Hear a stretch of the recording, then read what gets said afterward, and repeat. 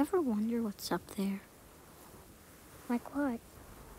Maybe someone up there is wondering what it's like here. I guess. Do you think we'll ever meet them? I hope so. Don't you?